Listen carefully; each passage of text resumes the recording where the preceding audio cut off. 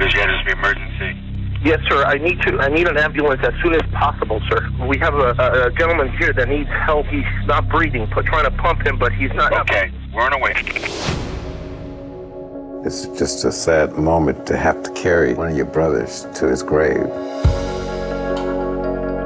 To be a person that cannot be a part of the everyday life of this world, it could be devastating on the mind. What made you want to sing in the first place? I don't know. Well, you know how that goes in children. They just don't know, do they? Michael was 11 or 12 months old. He was just dancing to the washing machine. And I knew then he had a lot of rhythm. Michael started singing. It was like, wow. That's when everybody recognized uh, what kind of talent was there. We rushed him home immediately. He was in the group.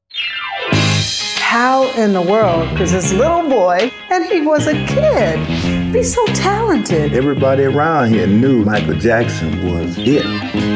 The world just didn't know it. He kept reaching for higher plateaus. And he felt where he wanted to go, the group couldn't go with him. I knew then it was like shooting a rocket up to the moon. he stole the show from everybody, including the Jackson Five. He studied his craft, he worked at it. Michael's image was very important to him. Being vulnerable and listening to others, he just kept going. And those of us that tried to help, he just eliminated. An arrest warrant for Mr. Jackson has been issued. Evidence could end the career of a pop legend. Michael said, I don't know why they're doing this to me. They want me dead. I can imagine what was going on in his head. I don't know how he coped. My heart just bled for him all the time. Why hadn't we embraced him? Why hadn't we loved him? I never lost a child. Children are supposed to bury their parents, not parents burying children.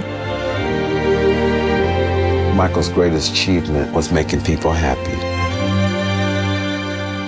Everything he sang, he sang from his heart. Michael's legacy is that he will be known as the greatest entertainer ever. I think that Michael's story is one of triumph.